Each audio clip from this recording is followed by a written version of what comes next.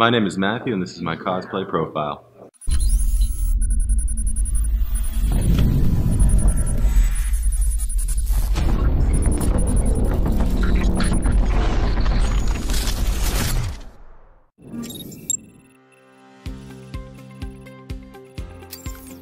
My first cosplay experience, I'd have to say, is MegaCon in Orlando in 2014.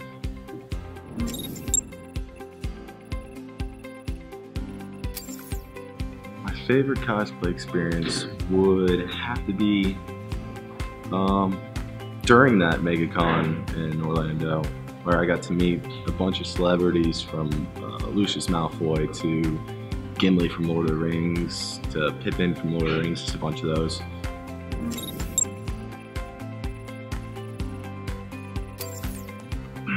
Normally people have those. I've yet to experience that yet.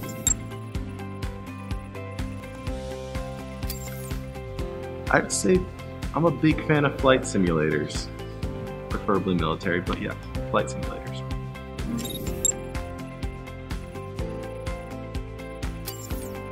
It's Just the the freedom to to behave, to act and be a character that you're normally not, and everybody is ex- socially accepting of it.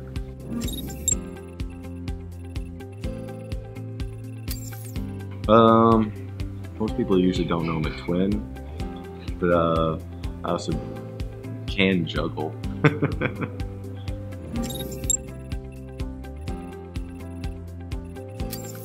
well, that would have to be. There's there's a few. That being um, and being an Eagle Scout, earning that was pretty difficult. Um, uh, and then the other one would have to be graduating college along with my twin.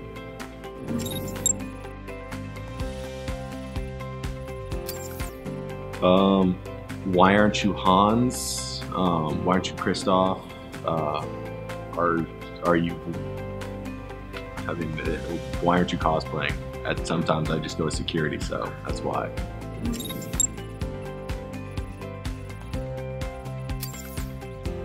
Can't say I've been asked that yet.